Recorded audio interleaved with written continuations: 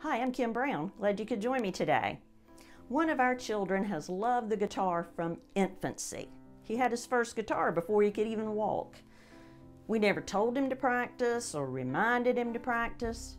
He chose to practice of his own accord. And in the beginning, his fingers were really sore, but he practiced anyway.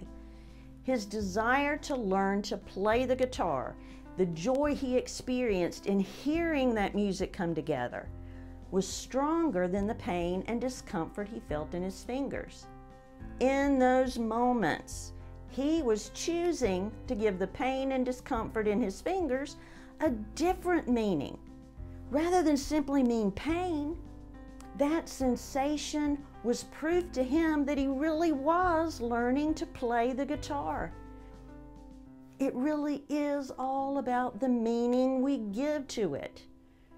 What if, just like our son, you also have the ability to change your thoughts, emotions, sensations, experiences, behaviors, because you change the meanings you give to those thoughts, emotions, experiences, and behaviors. Even if for your entire life you have felt or behaved in a way that you did not like or did not want, even that isn't proof that that's all you can be and all you can do. It's simply proof that whatever we practice, we become successful at.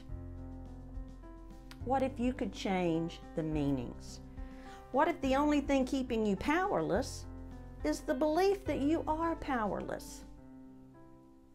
I invite you to tap along with me. What if I can change? What if change is safe? What if I can even give change a new meaning? What if I am enough? What if I really can do it? Would it be okay? I invite and allow myself to experience it differently.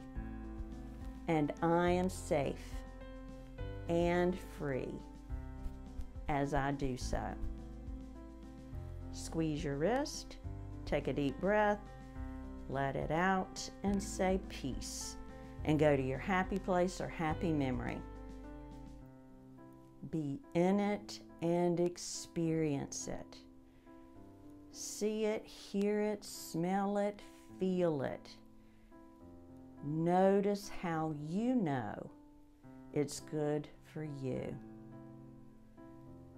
Because you really do know, don't you?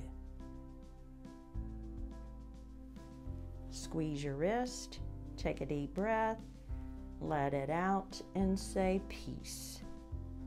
The most amazing experience you will ever have is the experience of changing your mind. Consider giving yourself permission to do so.